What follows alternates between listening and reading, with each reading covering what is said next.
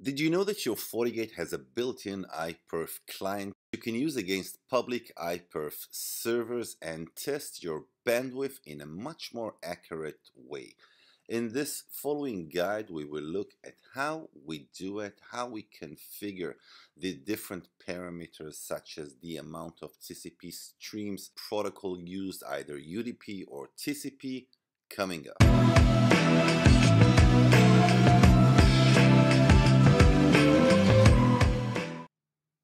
Alright, so now let's use the iPerf client. Now your FortiGate has an iPerf client as said. It also has a, a, an embedded iPerf server. So let's start by checking throughput between two interfaces.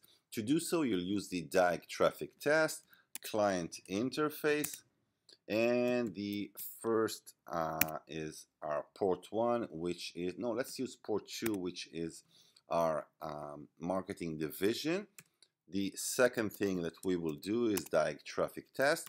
Server interface, that will be our WAN interface. So let's use port 1. And if we'll use the diag traffic test show, we will also see the current configuration. Now to run the test, we will use diag traffic test run. And there we have it.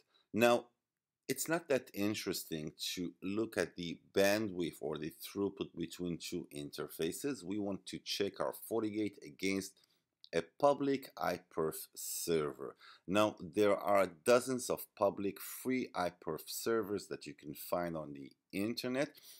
FortiGate, Fortinet uh, doesn't um, allow you to enter the URL, you will have to enter the IP address. Now to start that, we will use diag traffic test. Let's use our client, which is at port 1. That's our WAN interface. Now the next thing you can also do is to use different protocols. Now if you use Proto 0, that is TCP. If you're using protocol one, that is UDP. So if you have voice over IP devices on your network, uh, do the test over UDP also. But for now, we will use Proto 0, which is TCP. Another thing that you can do, if you use the diag traffic test run dash H, you will see the different parameters that you can tweak, that you can play around. One of them is the dash P. The dash P actually allows you to send parallel connections, parallel streams to the server itself.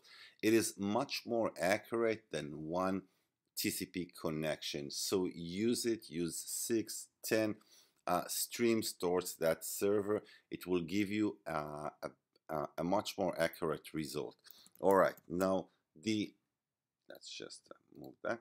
Now let's just use the diag traffic uh, test. Let's run it. Let's run it against our server, which is a public server that is at 89.84.1.222. Now we have forgotten to do one more thing that is using the port number. The port that uh, it uses is 5209. The default port for iPerfs uh, is uh, 5201, but uh, this one uses also 5209. So let's just use that port and let's use diag traffic test run hyphen C and the address is 89 84 1222.